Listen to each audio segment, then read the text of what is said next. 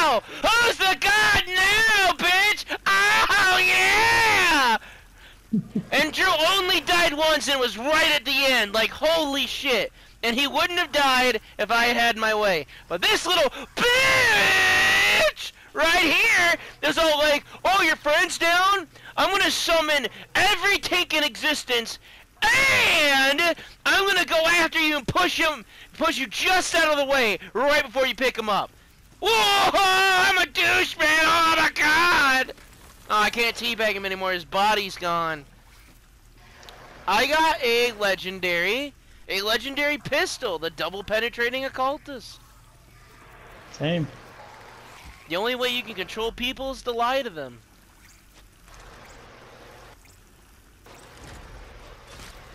Hmm.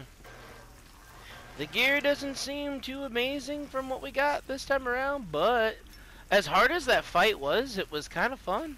I also got the Shockstone launch pad. Pocket rockets. Oh, the pocket rocket thing, yeah. Do you, uh, can you go over everything that he had again? Is that something you can do, or is it too late for that? What do you mean? Because you were able to list all the buffs that he had. It's still available right now. Just go to your map. On the map? Yeah. Okay. You go over to map, shift it a little, so it's not over something, and you can see mayhem mode. No, I Level see three. it. 100 health, 150 shields, 150 armor, 50 EXP, and all that. And then enemies take 50% less damage from normal bullets and attacks. So those are the random ones it picked? 50% less damage from cryo oh damage. Oh my Yes. Enemies take 50% less damage from corrosive damage. Which is all Enemies I gain use. 45% additional health, shields, and armor. and enemy weapons are 50% more accurate.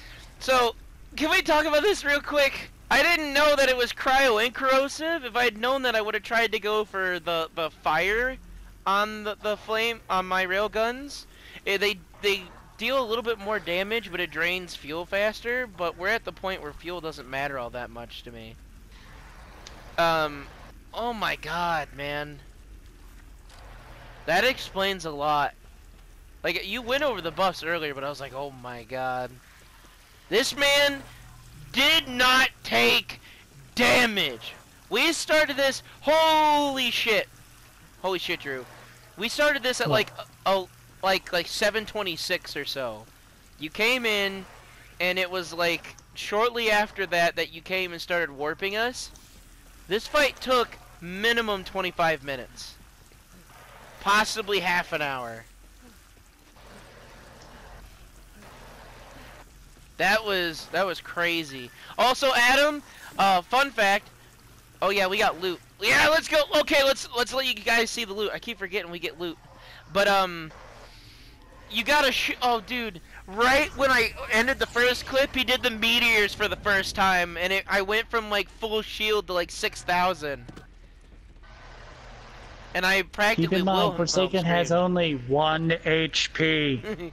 oh, he can see. He'll be able to see, that's for sure. Alright, let's open this chest. Uh, both one purple, one blue. Okay, what do we got here? Both green, that's pretty trash, won't lie. What about this one? Ooh, Uh, a legendary in this one. Oh, really? I got two purples. What's the red Let's text? have a look, see. That's the not the one. Here it is. Deluxe Baby Maker plus plus. Safety off is the Oh, text. um, the baby maker. I've got one of those. Uh, or I had one of those. I'm trying to remember what it does.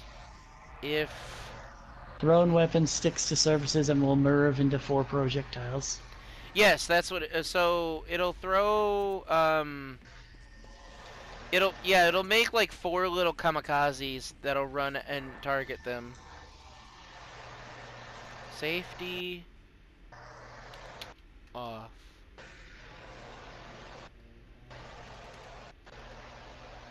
Man, internet is lagging. Yeah, that's it. It actually explains what it does on that one. But the Baby Maker plus plus plus, um, it can be any element, and Cl Claptrap 100%. It's a world drop, and also you can get it in the mail from Claptrap, I guess. For a crew challenge? I, I don't know. All I do know is this is blue, and I almost didn't pick it up. Yeah, when you when you throw it. It also speaks.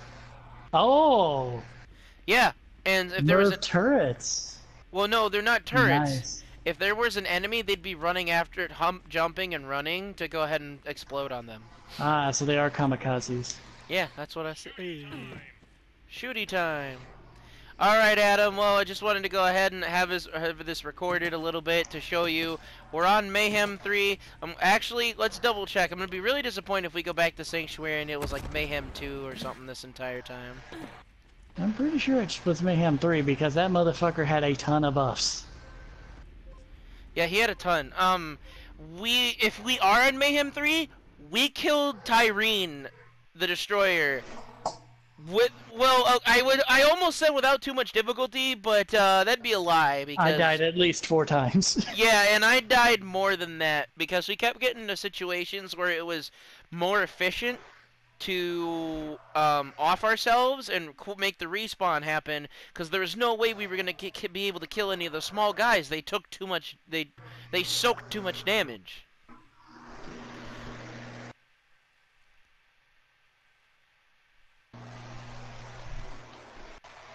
Running on over.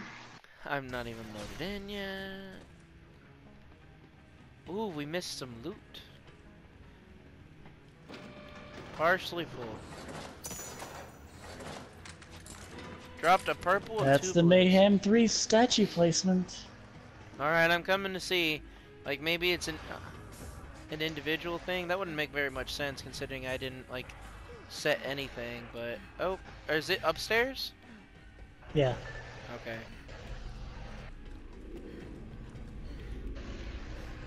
Yeah, there there's one. There's two. This is three. And the buffs, yeah, okay. So we beat Ty both Tyreen and the Destroyer and Troy. Troy was way harder. What buffs did they give her? I if don't know. any. We also beat Shiv on Mayhem 3, and let's just say he was about the same. Shiv is unimpressive. I mean, it's pretty impressive how small his other arm is, but still. Um, Alright, so we're gonna go to sorting the loot, and I'm gonna see which, um, which one, which guns I got are better than others, and maybe we'll try some more bosses. Uh, I'll send this to you, Adam. Later.